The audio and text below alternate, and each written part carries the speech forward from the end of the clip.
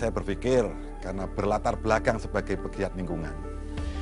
Saya melihat sampah-sampah tumpukan serabut kelapa ini jika tidak digunakan, tidak dimanfaatkan, itu potensi menimbulkan sampah menjadi limbah yang akan berpengaruh terhadap lingkungan. Saya memprioritaskan masyarakat sekitar, terutama kaum duafa, anak-anak putus sekolah. Pada saat pandemi ini, mereka yang paling terpuruk dari segi penghasilan.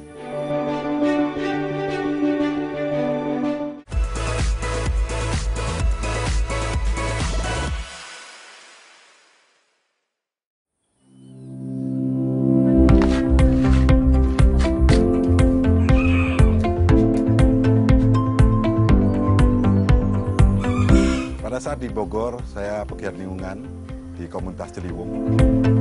Saya melihat banyak sampah di sungai Ciliwung saat itu. Saya berpikir bahwa sampah tidak selalu identik dengan limbah, tapi bagaimana memperlakukan sampah menjadi peluang usaha, peluang bisnis yang bisa memperdayakan masyarakat.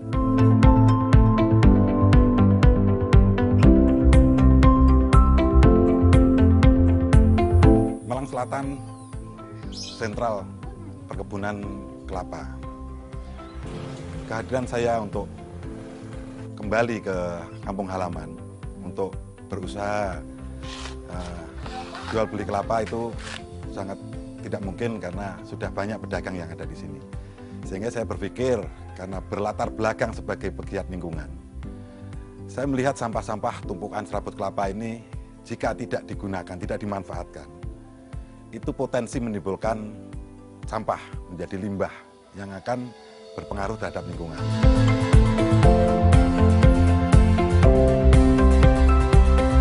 Awal COVID kemarin bersamaan dengan boomingnya tanaman hias. Sehingga kehadiran pot ini uh, disambut baik dengan masyarakat. Sehingga permintaan dari Papua sampai Aceh itu nggak bisa ditahan lagi, Mas. Kami pekerjakan ibu-ibu duafa, anak-anak putus sekolah, dan sebagian korban PHK dari COVID-19. Ada yang PHK dari konter, dari perhotelan, dari restoran, kafe. Kami bekerjakan di sini.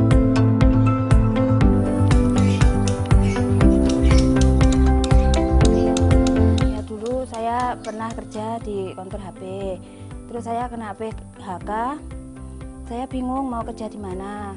Kan saya single parent. Saya untuk biayai sekolah anak saya dulu online bingung buat beli HP-nya, buat beli pulsanya, ada pengrajin pot serabut bikin. Terus saya gabung di sini, alhamdulillah itu sangat membantu saya buat perekonomian saya.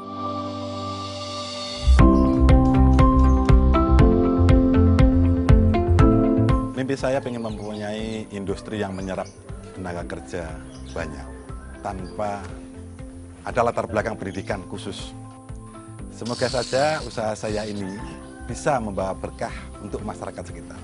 Yang terpenting dalam masa sulit ini, kita harus terbuka hatinya untuk memberi kepada yang lebih membutuhkan. Intinya, kita harus tergerak untuk berani berubah.